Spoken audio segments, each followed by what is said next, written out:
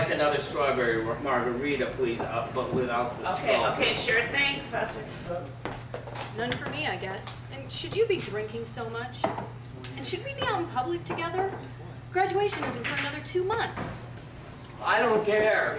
My life is ruined.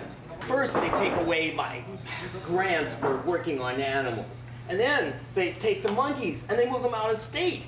Then I switch over to human beings. But as you know, the stem cell money is less and less available. It's gonna be five dollars. Um, There you go. Thank you. Moving your lab underneath the steam tunnel saved a ton of money. And what about Igor? That was brilliant. yeah, I'll admit that moving the lab was great. That was very good. And finding Igor. You know, we were very fortunate to find a handicapped student who had a brilliant scientific streak. But there were so many other problems. Yeah! Apparently, the athletic department needs more money, so they managed to cut the hard sciences by 50%. I'm beginning to feel like my ancient ancestor cut down right on the brink of the greatest scientific discovery in history. This isn't a college anymore, it's just a great big place for jocks. That's mad! I'm mad because I want to learn the secrets of life. I'm mad because I don't even care about those lesser species like rhesus monkeys or even human embryos. I'm mad, mad because I even hate the badgers. I couldn't care less if every jock on the face of the earth dropped off dead tomorrow. With this guy, he hates the Badgers. I do. I hate the badgers. What are you from Isle? Get out of here, loser.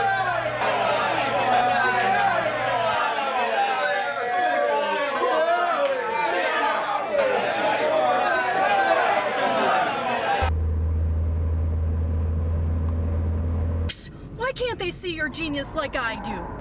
Where are we going?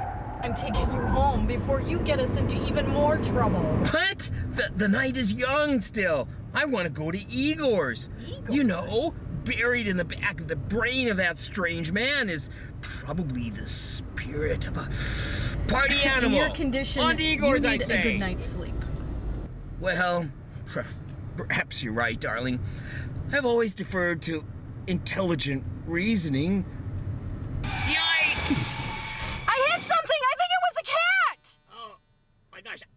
But I think it's all right.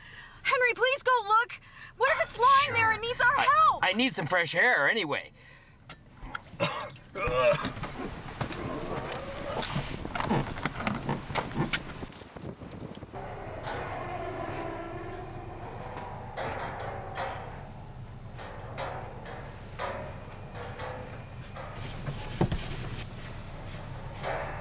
Henry!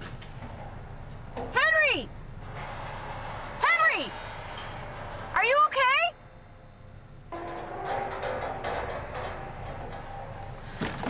Henry! Henry! Are you all right? Henry! Are you all right? Henry! Henry! Answer me!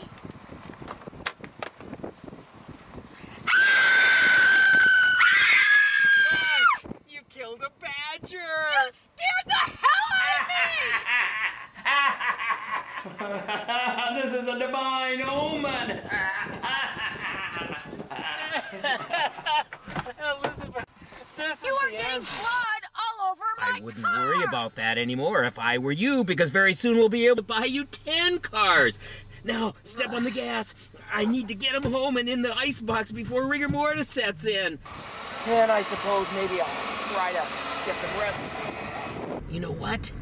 I need to sober up because I gotta see Coach Johnson tomorrow. Of UW football? The very one. You're drunker than you think. Oh, maybe, but I never felt better in my life.